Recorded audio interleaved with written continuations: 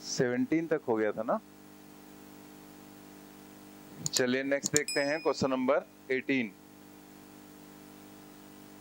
find currents through each register तो ये किया किसी ने?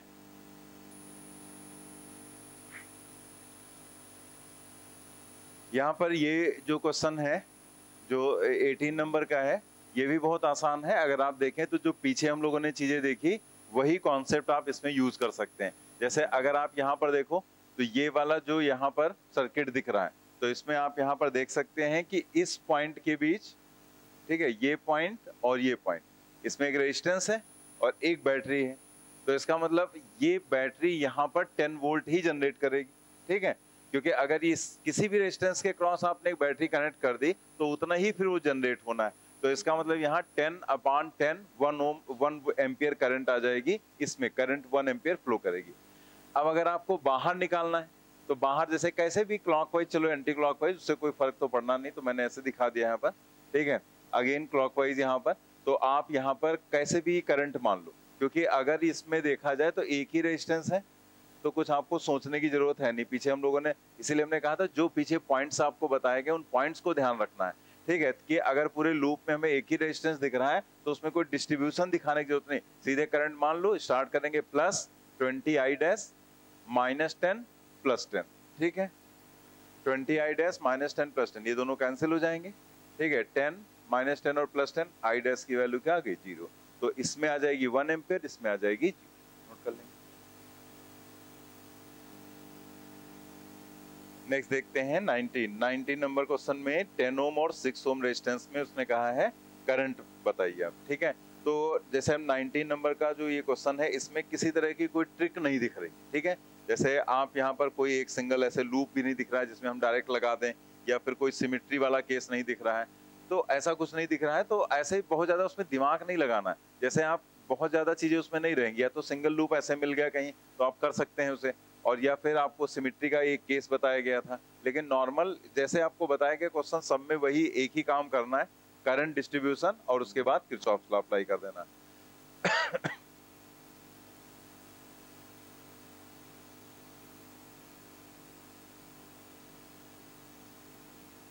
तो यहाँ पर ऐसा कुछ दिख नहीं रहा।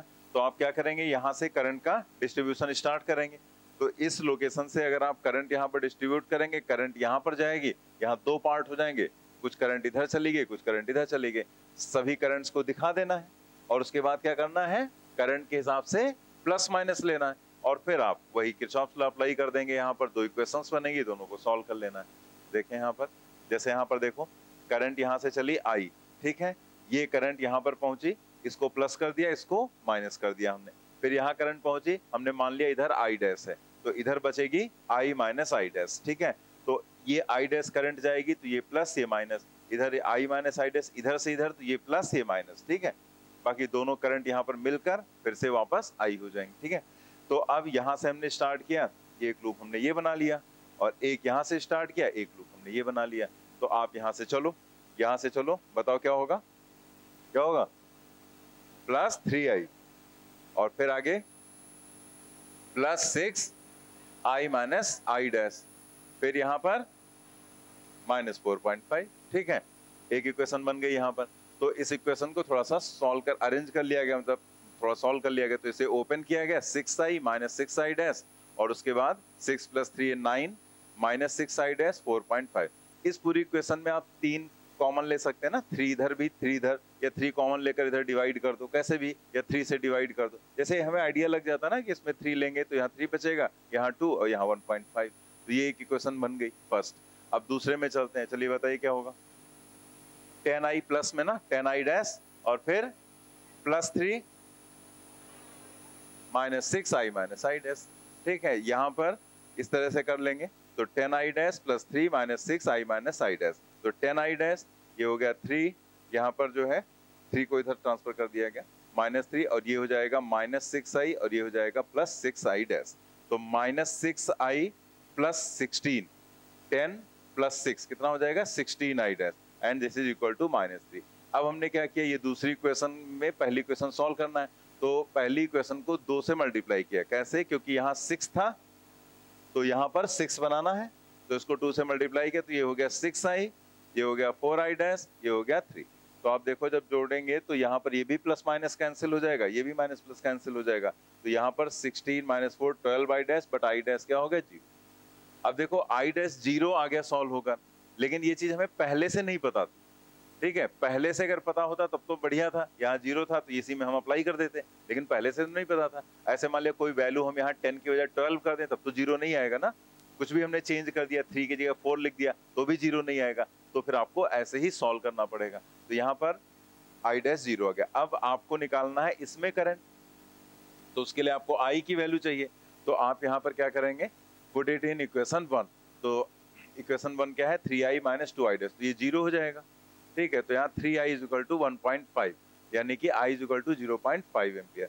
तो current in six ohm resistance हालाँकि आंसर यही आएगा, लेकिन हमने लिखा इसलिए है कि आप ये चीज़ भूले नहीं।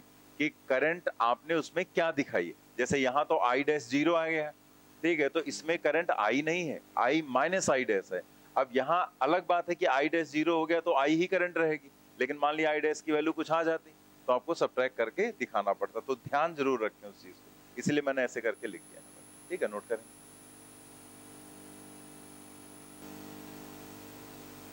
नोट कर लिया? फिर ये आई डैश ज़ीरो आया ना? इसको लिख दो इक्वेशन वन में। I dash put I dash is equal to zero in equation one solve कर लो आई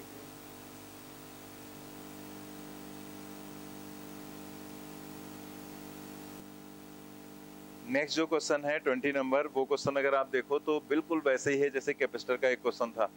ठीक है? जैसे वहाँ पर बताया गया था, वैसे यहाँ पर है। पूछा गया था आई में एक बार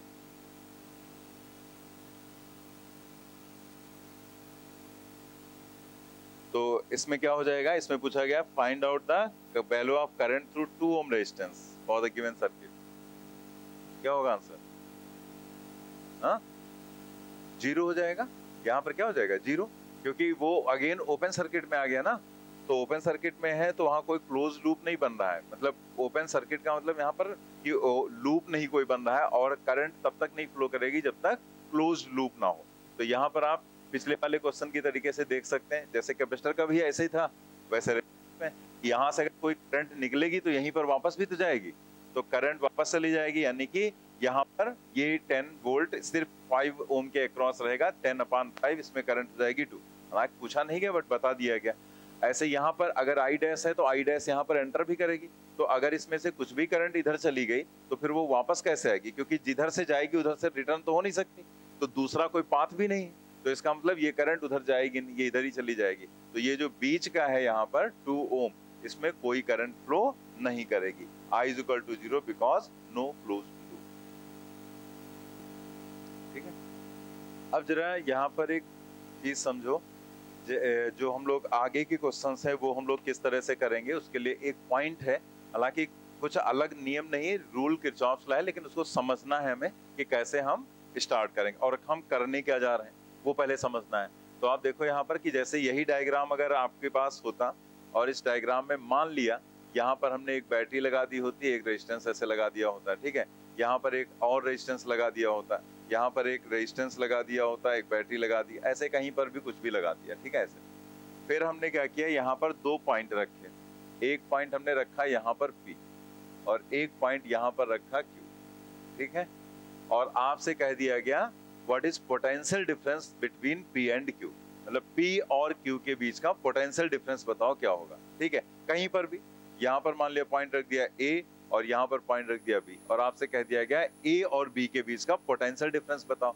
या फिर आपसे कह दिया गया कि अगर ए का जो पोटेंशियल है वो ज़ीरो है, ठीक है? तो बी का पोटेंशियल बताओ क्या होगा? या बी का पोटेंशियल ज़ीरो तो ए का बताओ। इस तरह से कोई क्वेश्चन आपको दिया जा सकता पूछा भी गया आपके यहाँ।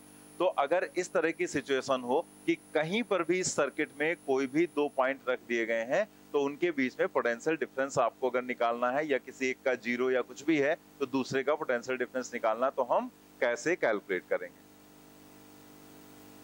तो वापस आते हैं हम लोग थ्योरी वाले पार्ट पे। एक पॉइंट उसको समझ लेते हैं, फिर आगे बढ़ते हैं।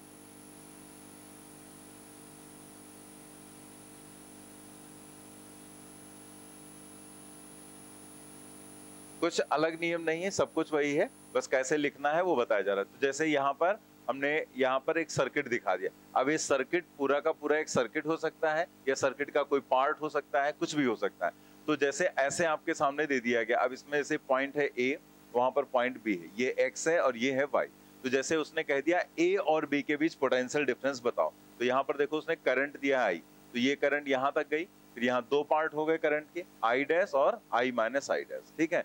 दोनों करंट यहाँ पर ऐड हो गई और फिर से वापस आई बन गई। सबसे पहला काम हम लोग क्या करते हैं? करंट के हिसाब से प्लस माइनस बनाते हैं, ठीक है?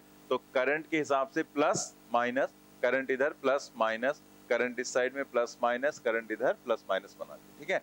देन हमें लिखना है वी ए माइनस वी तो आप यहाँ पर क्या लिखेंगे? V A minus V equal to ठीक है? फिर इक्वल का साइन लगा दिया। तो V A minus V equal to and then क्या लिखना है आपको? प्लस अब यहाँ पर जैसे आप, आपको ए और बी के बीच अगर पोटेंशियल डिफरेंस उसने कहा है तो सबसे पहला काम क्या करना है? V A minus V B लिख दिया हमने। अब उसके बाद आपको फिर से ए से बी तक जाना है, ठीक है?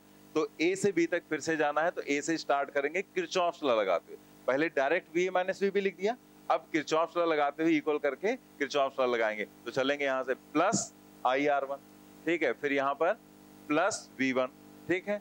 फिर यहाँ पर plus I dash I dash current आ रही है ना? आई डैश आर टू और फिर माइनस वी टू और फिर प्लस आई आर ठीक? सब कुछ वही है। ठीक है? कुछ अलग नहीं। ऐसे मान लिया एक्स और वाई के बीच निकालना है। तो एक्स और वाई के बीच निकालना है। तो हमने V X minus V Y लिखा और एक्स से वाई की तरफ़ चलना स्टार्ट कर दिया। तो V X minus V Y equal to यहाँ से चलेंगे।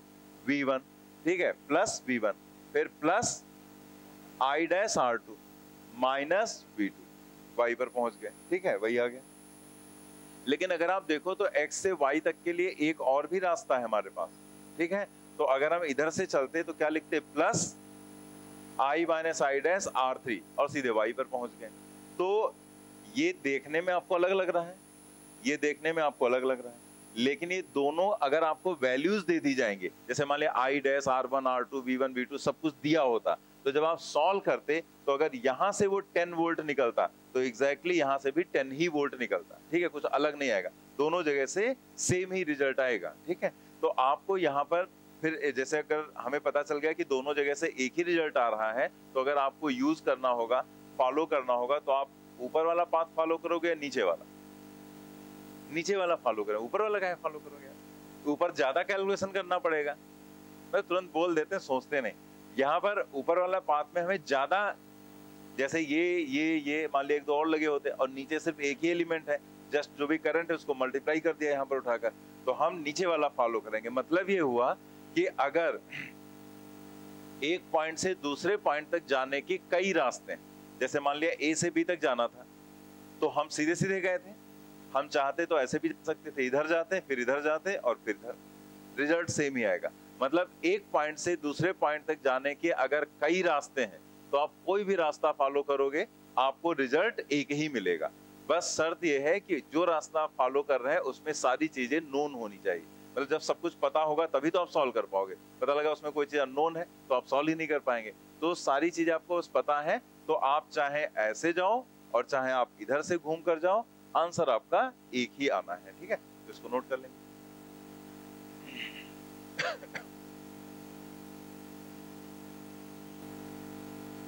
वापस आ जाएँगे क्वेश्चंस पर। 21 नंबर ट्राई करें और बताएँ क्या आएगा आंसर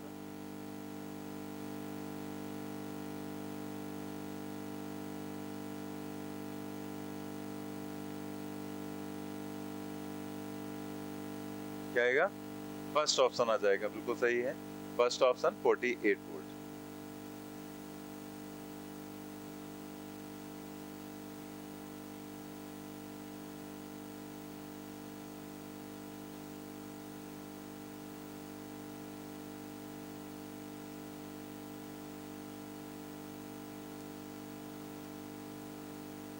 इसमें क्या कहा गया था? The potential difference between A and B in the following figure is तो पोटेंशियल डिफरेंस आपको ए और बी के बीच निकालना है तो आप यहाँ पर वैसे ही, जैसे भी बताया गया, वैसे अप्लाई करते हुए चले जाएँगे।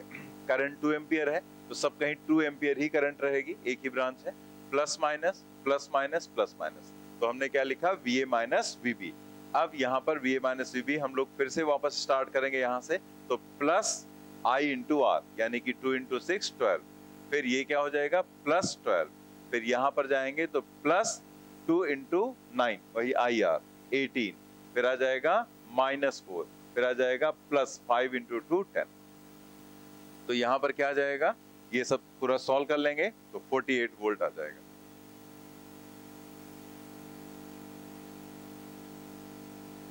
यहाँ पर आपने एक चीज़ ध्यान दिया कि जो भी कॉन्सेप्ट बताया गया या जो ये बताया गया ठीक है, इन दोनों में करंट आपको पहले से दे दी गई ठीक है? लेकिन आप सोचो, अगर करंट नहीं दी गई होगी तो आपके लिए पहले यहाँ पर आपको करना क्या पड़ेगा? करंट आपको पहले निकालनी पड़ेगी, उसके बाद ही आप अप्लाई कर पाएँगे, ठीक है? इसका मतलब करंट पहले निकालना रहेगा और फिर आप ये कॉन्सेप्ट अप्लाई करेंगे, ठीक है? नेक्स्ट क्वेश्चन देखते हैं। Find resistance and potentials of and B potential difference नहीं।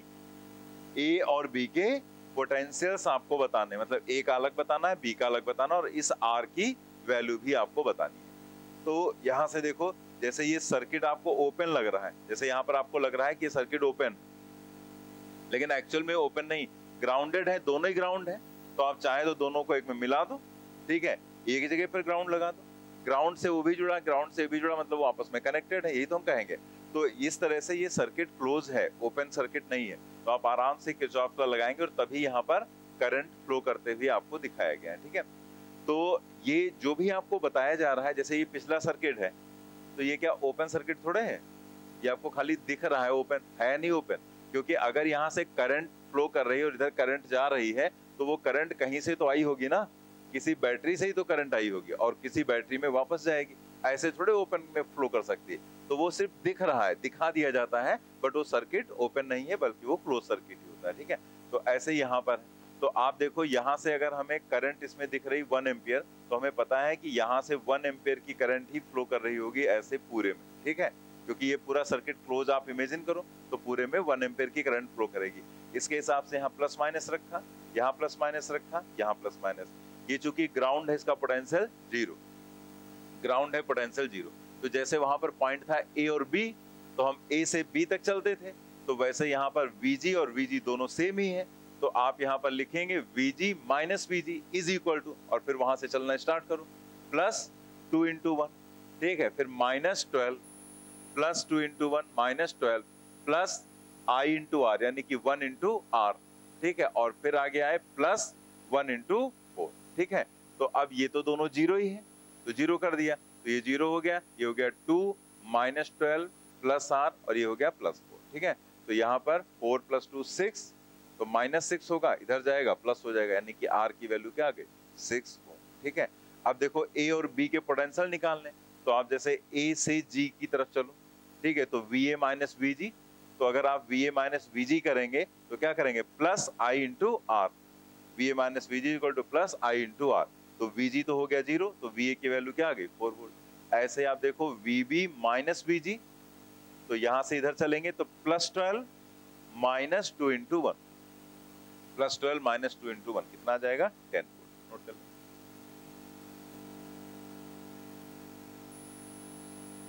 नेक्स्ट जो क्वेश्चन है ट्वेंटी थ्री नंबर ये आपके यहाँ पूछा भी गया था. इन द और यहाँ पर बिल्कुल जैसे अभी हम आपको इससे पहले डायग्राम जो समझा रहे थे, बिल्कुल वैसे ये है। In the circuit shown in figure if the potential at point A is taken to be zero potential at point B is ठीक है? क्या कहा गया कि अगर ए का पोटेंशियल आप क्या ले लें? ज़ीरो यहाँ पर, ठीक है? तो अगर ए का पोटेंशियल ज़ीरो है तो potential at point B B का पोटेंशियल बताओ तो अभी आपसे क्या बताया गया था कि आप कोई भी रास्ता यहाँ पर अपना सकते हैं ए से बी तक पहुँचने का। करंट वगैरह तो सब आपको दिया ही है तो अगर उसने कह दिया बी का पोटेंशियल आपको बताना है और ए का पोटेंशियल क्या है? ज़ीरो तो आप चाहे इधर से आ जाओ, यहाँ पर, चाहे आप इधर से यहाँ तक आ जाओ और चाहे आप बीस से आ जाओ आंसर आपको एक ही मिलेगा। लेकिन एक प्रॉब्लम यहाँ पर है कि अगर आप इधर से आते हैं तो उसने यहाँ पर देखो रेजिस्टेंस की वैल्यू ही नहीं दी तुम्हें। तो ये तो आप फॉलो नहीं कर पाए। अब वैल्यू ही नहीं है तो आप सॉल्व कैसे करोगे? ठीक है तो इसको हम छोड़ना पड़ेगा हमें मतलब ये रास्ता हम नहीं फॉलो कर सकते। अगर हम इधर से इधर आए तो उसने आर वन आर टू लिख दिया, लेकिन उसकी वैल्यू नहीं दी, और ऑप्शन में तो कहीं आर वन आर टू दिख नहीं रहा। इसका मतलब हम इस रास्ते से आ तो सकते थे। आंसर वही आता, लेकिन प्रॉब्लम ये उसने वैल्यू नहीं बताई कि यहाँ पर है क्या तो फिर हम यहाँ भी नहीं फॉलो कर सकते। हैं तो हमारे पास बच रहा है सिर्फ़ ये वाला रास्ता, ठीक है? ये रास्ता। इस रास्ते में अगर देखो तो सारी चीज़ें तुम्हें पता है। वोल्टेज पता है यहाँ रेजिस्टेंस पता है, यहाँ पर वोल्टेज पता है। इसमें करंट नहीं पता है तो वो हम निकाल सकते हैं क्योंकि उसने दिखा दिया, इधर से टू एम्पियर आई है, और इधर कितनी गई? वन इसका मतलब जो बचेगी वन एम्पियर करंट वो इधर जाएगी। तो इसका मतलब इस रास्ते की हमें सारी चीज़ें पता है, इसलिए हम यही बीच वाला रास्ता यहाँ पर फॉलो करेंगे और सॉल्व कर लेंगे आराम से, ठीक है? तो आप देखो यहाँ पर कि हम यहाँ से ये टू एम्पियर ये वन ये वन इधर चली गई वन एम्पियर इधर चली गई। आप इस वन के हिसाब से यहाँ पर प्लस माइनस रख देंगे करंट के हिसाब से। चलते हैं यहाँ से। बी से V B minus V A तो यहाँ से चलो। क्या आएगा सबसे पहले? Minus two. फिर क्या आएगा? Plus two into one. और फिर यहाँ पर प्लस वन। ठीक है? Plus one. कैंसिल कर दिया। V B equal to plus one volt आ गया। क्योंकि ये वी ए जो है, वो तो ज़ीरो हो जाएगा। ठीक है ए का उसने दे रखा ना पोटेंशियल ज़ीरो तो वी बी की वैल्यू आ जाएगी प्लस वन अब जैसे नेक्स्ट जो क्वेश्चन है 24 नंबर ये नोट हो गया ना सभी का?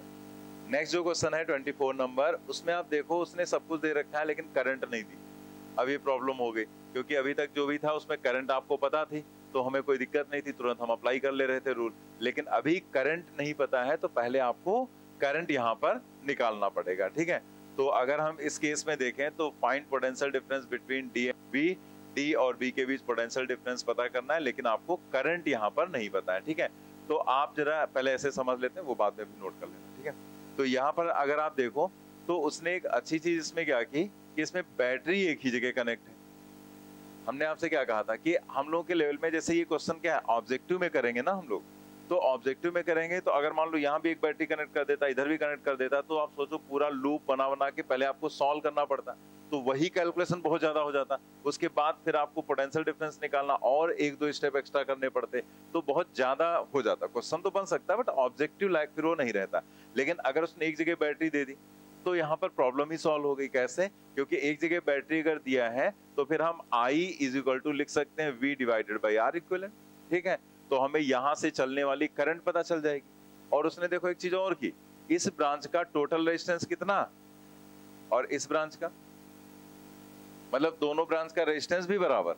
मतलब यहाँ की अगर करंट आपने निकाल ली, मान लिया वो करंट आ गई टू एम्पियर तो वन इधर जाएगी वन इधर जाएगी। मतलब उसमें भी करंट भी नहीं सॉल्व करना हमें, कि हम यहाँ पर फिर से कोई कैलकुलेशन करना पड़ेगा। तो उसने क्वेश्चन में करंट नहीं दिया, लेकिन कैलकुलेशन इतना कॉम्प्लिकेटेड नहीं दिया। अब आर इक्वलेंट देखो, कितना आसान। सिक्स और सिक्स क्या हो जाएगा? थ्री थ्री होगा ना? पैरेलल में है ना? तो पैरेलल में आधा हो जाएगा ना? सिक्स बाई टू थ्री और ये जब हटाएँगे थ्री लगेगा थ्री इन वन और वन के साथ। सीरीज़ में आएगा पैरेलल में। सीरीज़ में आ जाएगा ना? इसको पूरा हटा देंगे तो सीरीज़ में आ जाएगा। तो three plus one plus one कितना आ गया? फाइव ठीक है? फाइव ओम आर इक्विलेंट आ गया। वी की वैल्यू क्या है? टेन टेन अपॉन फाइव कितना जाएगा? टू। और टू एम्पेयर करंट आ गई, वन इधर वन इधर, ठीक है? मतलब इतना आसान उसने डेटा दे दिया कि हमें पेन भी नहीं चलाने की ज़रूरत थी, ऐसे वो सॉल्व हो जाना था, ठीक है? तो ये टोटल यहाँ पर आ गई करंट, टू एम्पेयर। अब वन एम्पेयर इधर गई, वन एम्पेयर करंट इधर गई। अब आपको डी और बी के बीच निकालना है। मतलब आप कैसे भी जा सकते हैं, V D minus V B लिखेंगे। अच्छा हम लिखते हैं पोटेंशियल डिफरेंस डिफरेंस लिखते हैं तो आप कभी भी डिफरेंस जब लिखेंगे तो हमेशा हाई माइनस लो होता है। बाई चांस यहाँ पर आपको नहीं पता है क्या हाई क्या लो है तो आपने उल्टा लिख दिया डी और बी के बीच में। मतलब आपने डी और बी लिखा, लेकिन आपने डी और बी ना लिखकर बी और डी लिख दिया तो वो माइनस में आ जाएगा। अगर वो माइनस में आ गया तो आपको माइनस में नहीं करना क्योंकि डिफरेंस आप लिख रहे हैं ना, ये बहुत पहले भी हमने बताया था, जब डिफरेंस लिखते हैं तो माइनस साइन नहीं लगाते, क्योंकि उसका मतलब ही होता है हाई माइनस लो। हालाँकि यहाँ डी माइनस बी करेंगे तो आएगा पॉजिटिव ही आ जाएगा। तो बस डी से बी तक आ जाओ। आप डी से बी चाहे, इधर से घूम कर आ जाओ। चाहे आप इधर से घूम कर आ जाओ, चाहे ये बड़े वाले पाथ को फॉलो करके आ जाओ। आंसर सेम ही आना है। तो हम क्या करेंगे? सबसे छोटे पाथ को फॉलो करेंगे बस।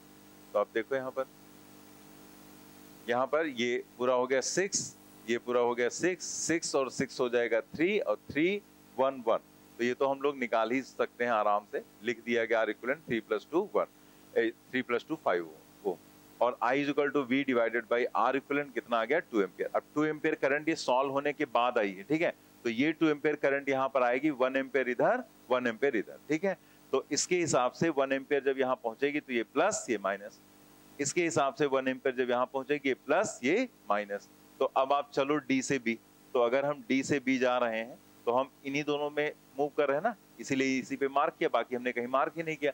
तो यहाँ से चलेंगे, क्या हो जाएगा? प्लस वन इंटू फोर यानी कि फोर और फिर इधर आएँगे माइनस टू इंटू वन ठीक? फोर माइनस टू कितना आ जाएगा? टू फोर नोट कर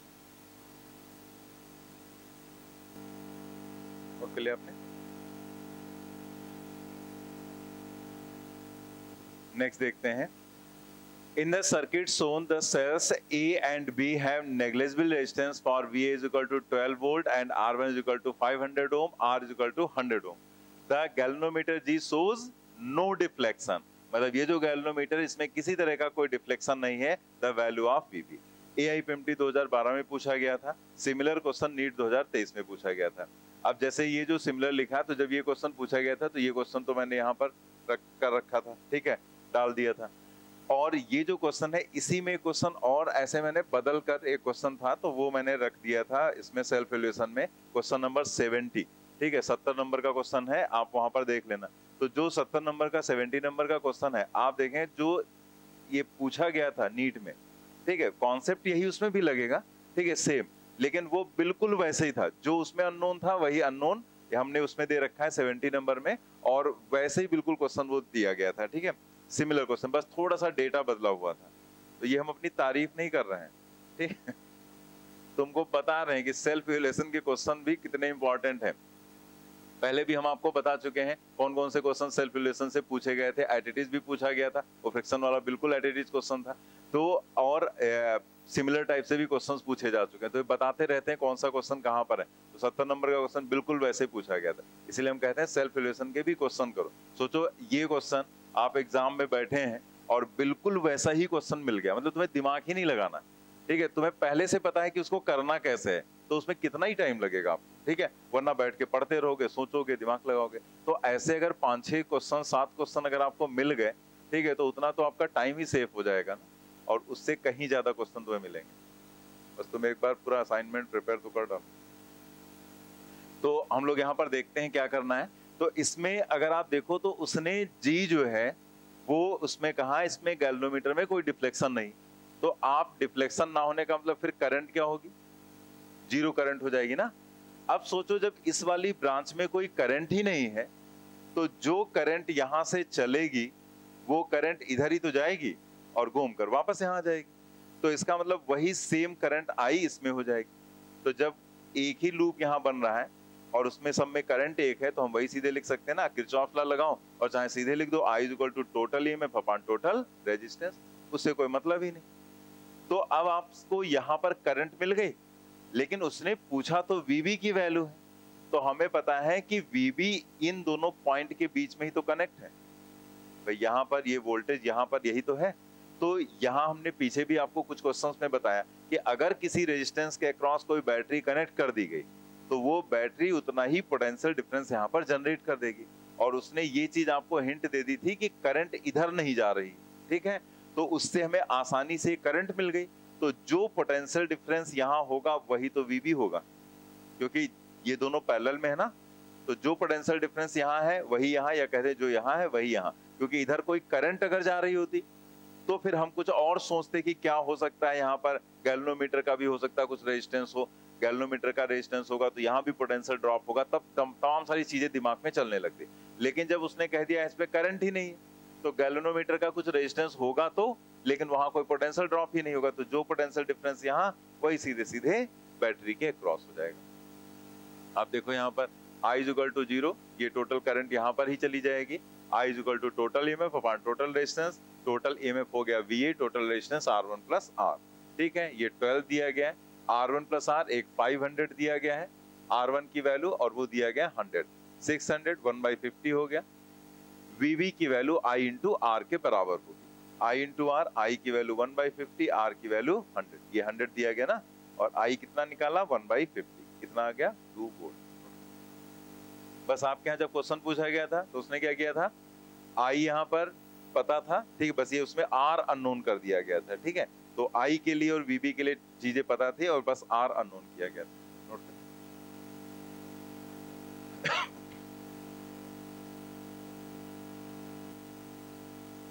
तीन क्वेश्चन आगे जो दिए गए हैं, वो कैपेसिटर से रिलेटेड हैं। और कैपेसिटर में जैसे हम लोग चीज़ें पढ़ चुके हैं, लेकिन कैपेसिटर में भी हम लोग किरचॉफ्स यूज़ कर सकते हैं, ठीक है? तो कैपेसिटर में कैसे किरचॉफ्स यूज़ करना है, वही इन तीन क्वेश्चंस में बताया जा रहा है। हालाँकि ऐसे क्वेश्चंस अभी तक नहीं पूछे गए हैं बट पूछे जा सकते हैं, क्योंकि कैपेसिटर भी तो सिलेबस में है किरचॉफ्स भी सिलेबस में है तो रेजिस्टेंस में तो अप्लाई कराया गया कई बार। हो सकता है कभी कैपेसिटर में दे दें। तो हमें एक, दो, तीन क्वेश्चन में समझ में आ जाएगा कि कैपेसिटर के लिए हमें कोई नई चीज़ नहीं करनी। जैसा हमने पढ़ रखा है, वैसे ही करना है। बस क्या होगा, जैसे एक लूप की अगर हम बात करें तो अगर हम एक लूप में यहाँ पर पोटेंशियल डिफरेंस ज़ीरो करते हैं तो हम रेजिस्टेंस में V is equal to I R apply करते हैं। तो कैपेसिटर में V इज़ इक्वल टू बस फार्मूला बदल जाएगा। जहाँ आई आर वहाँ क्यू बाई सी बाकी सब कुछ एकदम सिमिलर ही रहेगा, ठीक है? तो आप देखो जरा यहाँ पर point charge on each capacitor तो जैसे अगर आप देखो, यहाँ पर चार्ज इधर से दिखाया गया। ये प्लस क्यू उसने पहले से दिखा दिया।